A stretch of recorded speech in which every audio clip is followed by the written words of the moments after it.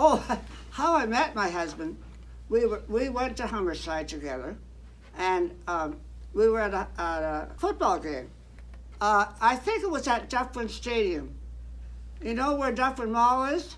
It used to be a, a horse ra- racing place, and it had a stadium, and the, and we had football games in the stadium.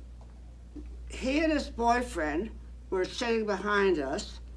The boyfriend started flirting with my, my girlfriend, so so one day at a sock hop, she and I were dancing, and the other boy wanted to cut in and get dancing with my girlfriend.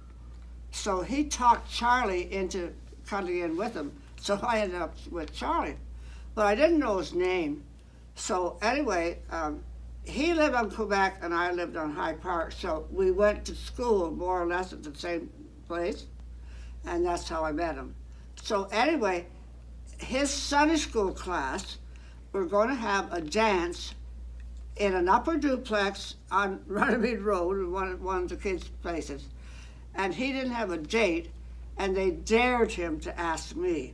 So, so I got a, a date to go with Charlie to this Sunday school. so I'm dancing with him, and he says, It seems to me I heard that song before. And I says, I think I did too.